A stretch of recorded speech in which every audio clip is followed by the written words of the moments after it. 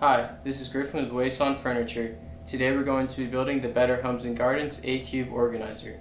This is our tobacco oak finish and it can be found on walmart.com.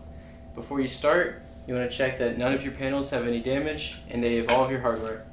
If you have any issues, you can refer to the number on the front of the manual and we'll take care of any of those problems that you have. If everything is in order, you can begin assembly. For step one, you need 18 plastic dowels, your four D panels, and two C panels.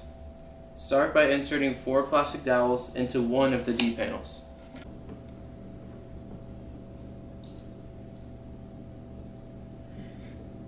Then insert only two plastic dowels into the remaining D panels.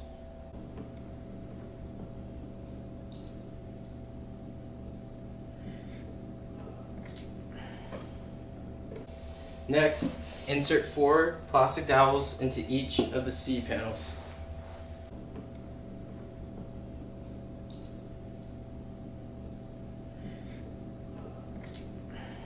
For step two, you need four cam locks and your E panel. Insert the cam locks into the E panel so that the little arrow points outwards towards the pre-drilled hole on the side.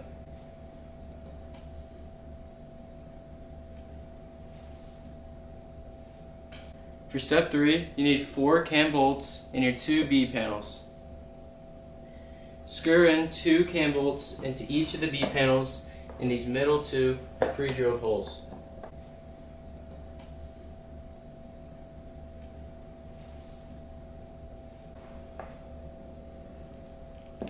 For step 4, you're going to need a D panel with 2 plastic dowels, a C panel, a D panel with 4 plastic dowels, your E panel, your D panel with two plastic dowels, your, another C panel, and then another D panel.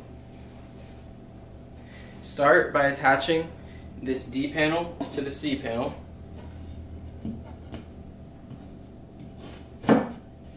And then this D panel to the other side.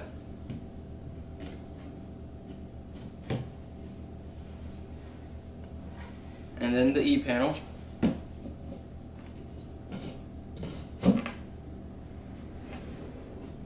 Then this other D panel.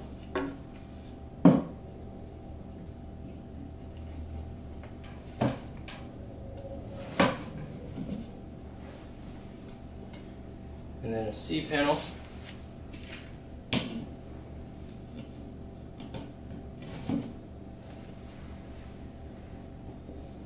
And then your D panel.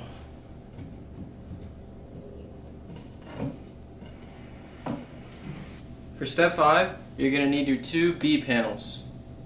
Attach them to the structure and secure them using the cam locks on this middle panel.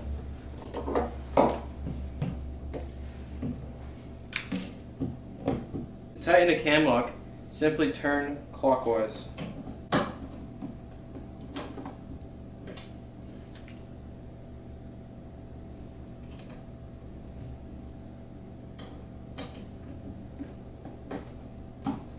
For step six, you're going to need your two A panels, eight screw bolts, eight caps, your safety strap, this small screw, and a washer.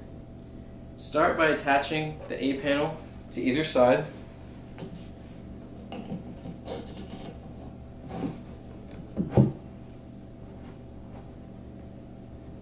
And then secure it with four screw bolts.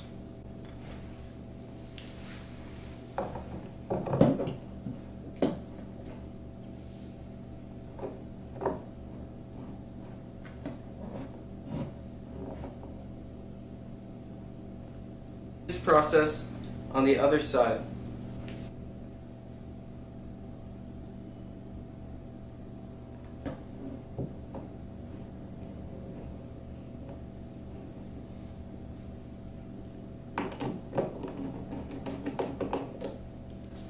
After you have attached both your A panels, um, find which side these cam locks are on, and on the opposite side, so this side, attach the safety strap. This will be the top of the unit. So take this small screw and the washer, insert it through the safety strap, and then Screw the safety strap onto the unit.